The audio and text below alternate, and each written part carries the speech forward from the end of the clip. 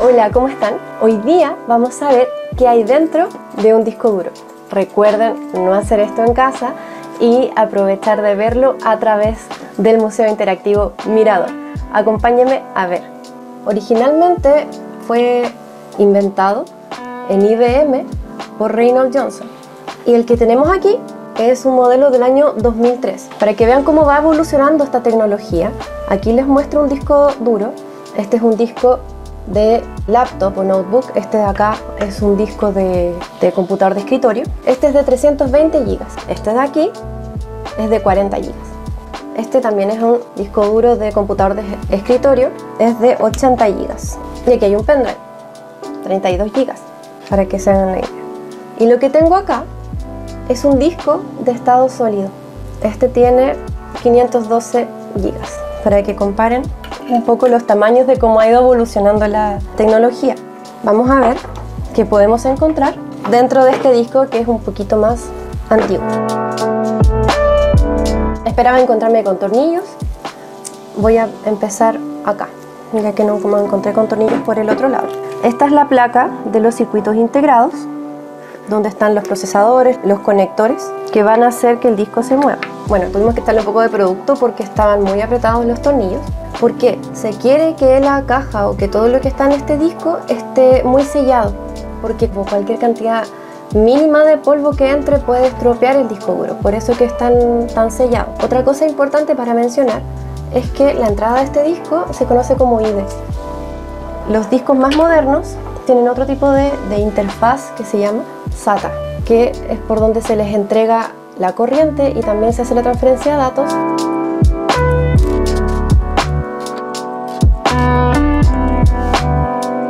Otra cosa, si se fijan, los tornillos tienen como una forma de estrellita. Estos se llaman tornillos tipo Torx.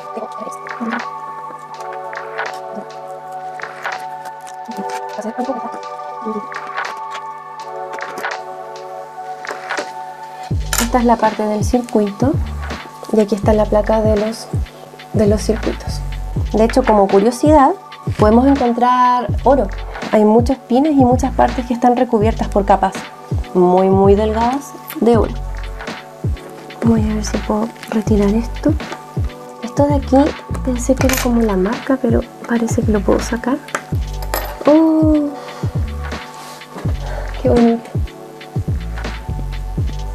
Como una capsulita plástica que adentro tiene muchas pelotitas pequeñas. No son muy pesadas, pero deben ser metálicas. ¿Será hierro por el color? No lo sé, pero está hermoso. Ya, si pudiese aventurarme, pensaría que puede ser para proteger o para aislar o para filtrar algo. Si alguien sabe para qué es esta pieza, sería ideal que lo publicaran, que lo pusieran en las redes sociales y lo compartieran con nosotros. Vamos a abrir esto de acá.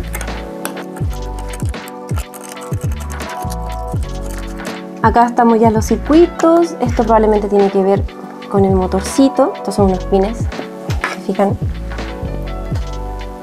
el color que tienen. Debajo de esto donde están los tornillos para acceder al disco. Y ahora seguimos.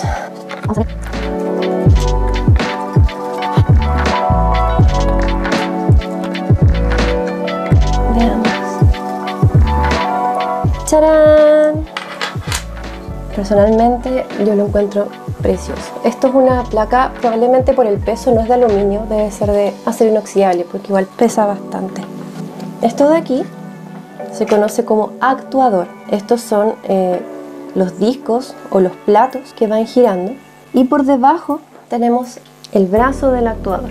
Aquí está el eje también del actuador que vamos a poder ver después y para que se vea mejor vamos a tener que sacar algunas cositas. Esto, por ejemplo, son filtros de polvo para que no entre absolutamente nada de polvo. Estos discos por lo general están hechos de aluminio o vidrio y están recubiertos por una muy delgada placa de cobalto o también capas muy delgadas de paladio o platino.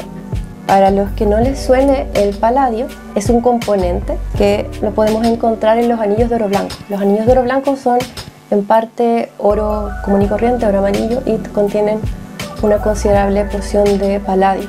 Estos son varios discos que podemos encontrar. Esto define también la capacidad de nuestro disco duro. Ahora sí, esto se lo saqué para proteger en el fondo, para firmar los discos. Aluminio también probablemente. Y acá tenemos un solo disco. A medida que fue evolucionando la tecnología, fueron añadiéndose más discos. Nosotros tenemos uno solo, el cual se escribe por arriba y por abajo, con el cabezal que tenemos aquí. Hay algunos discos, como les mencioné, que tienen muchas más capas de disco y el cabezal se va repitiendo por cada escalón en el fondo que tiene que recorrer. Aquí se salió esto, que es esta parte de acá, esto es un motor. Esos son los terminales para darle movimiento a este motor. Y aquí, bueno, tenemos nuestro actuador, tenemos el brazo, el eje, es muy muy pequeño. La punta del cabezal, el cabezal de lectura o escritura. Esa puntita, al igual que un disco de vinilo, va pasando y va grabando y escribiendo información en este disco magnético. Y esa información es leída por el computador. ¿Cómo se mueve entonces? Aquí tenemos distintas zonas, tenemos pistas y tenemos sectores. De esta forma el cabezal, imagínense que este es el cabezal, puede ir escogiendo qué pista escoge. Por ejemplo, aquí. Y todo ese círculo lo puede escoger cuando gira el disco. Por lo tanto tenemos ese movimiento y tenemos ese movimiento. De modo que el cabezal va magnetizando distintos puntos del disco. La magnetización puede ser polo norte, polo sur. Bueno, aquí puede magnetizar en una dirección o en la otra, que en el fondo se traduce en unos y ceros. Dentro de esto tenemos el eje del actuador, este es el brazo del cabezal y esta es la punta del cabezal, muy pequeñita, siempre tengan en comparación con cómo sería un vinilo. Vamos a ver qué hay debajo del actuador.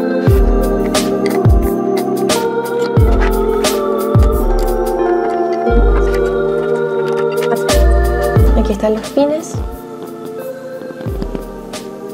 Este es nuestro actuador y esto está conectado.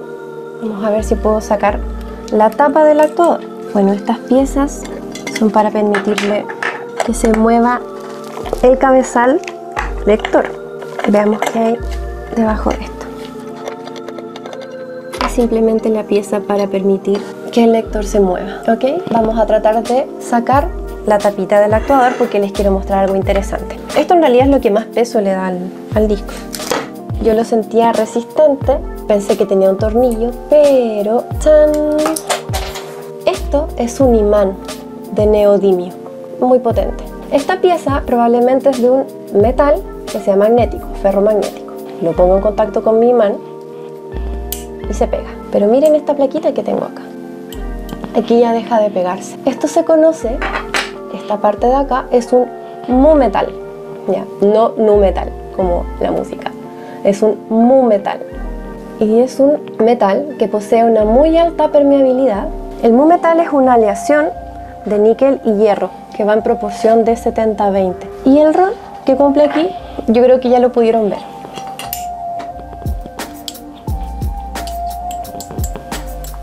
Tenemos nuestro imán de neodimio muy potente tenemos acá nuestro mu metal que tiene una muy alta permeabilidad magnética.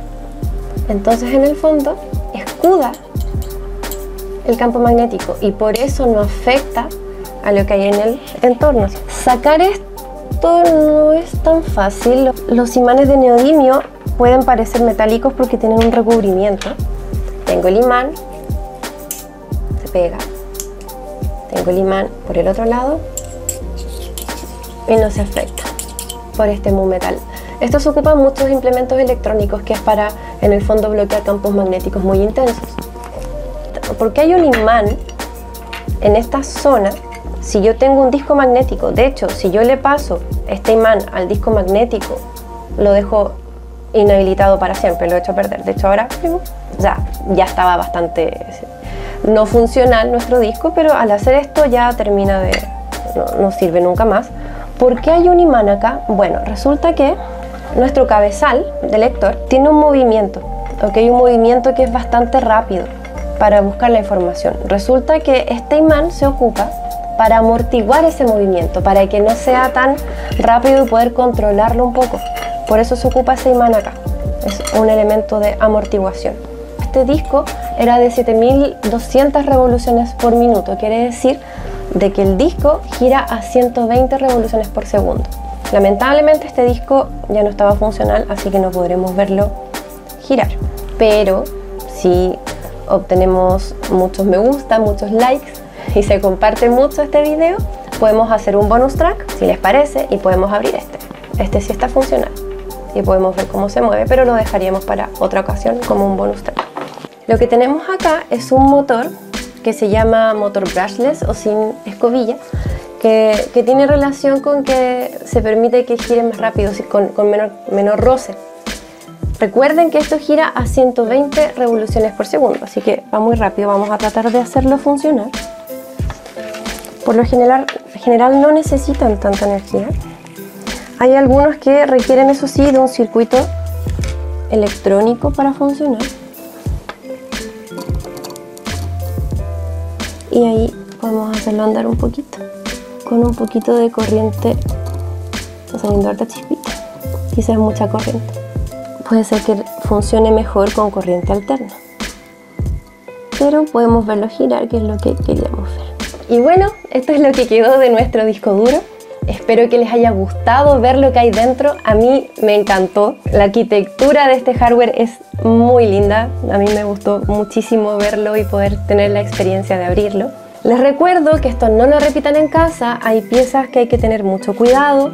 Sobre todo el tema de los imanes. Los imanes son muy potentes y es muy fácil de que puedan estropear algún elemento electrónico o apretarse los dedos. Por favor no lo repitan en su casa. En sus comentarios pongan si quieren ver el bonus track abriendo este disco y ver cómo funciona, cómo se mueven los discos.